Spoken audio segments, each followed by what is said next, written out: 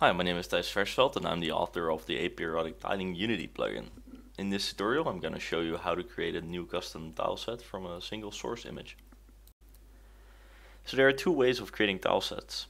The first one is by creating a tile set manually, which can be a tedious process but definitely possible using image editing software like Adobe Photoshop. The second one is the one that I'm going to show you now. So we will start out by downloading Rob Burke's Wang tiling application. This is the program that we will use to create our tile set. So just unzip it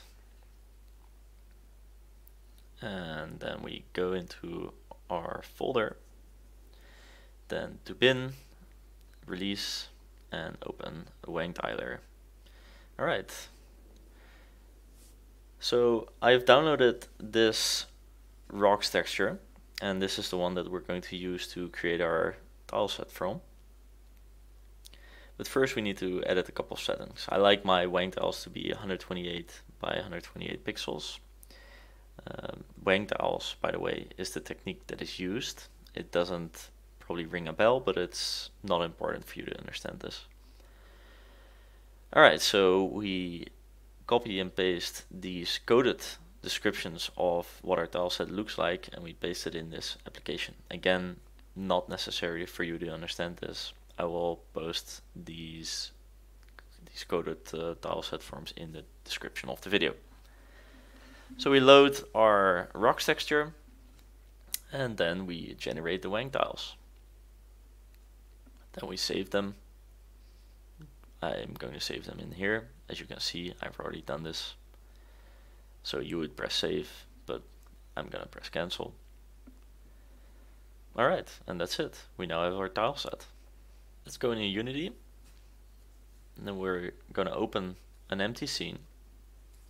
I'm going to create a plane and I'm gonna scale it to about let's say 25 by 20 25 Gonna put it nicely in the center of the scene. And then we're going to add our aperiodic tiling script. And we're going to create a material and let's call it rocks.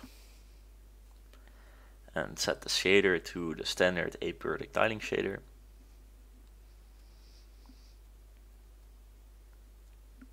Drag it onto our plane to apply the material. As you can see, it's applied to our plane. Now we're going to open the folder containing all our tile textures. And we're going to drag them all into Unity.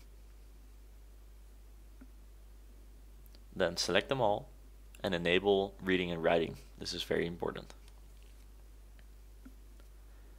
Good. So now all we have to do is drag the corresponding tiles into the script.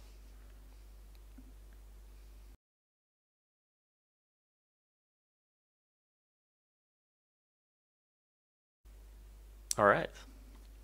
So now we're going to generate the tile set. There you go. Looks a bit weird now, but now we're going to generate a pattern. And that's it.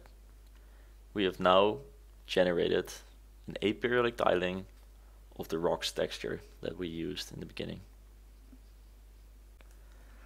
Alright, thank you for watching and I hope that you found this tutorial very helpful.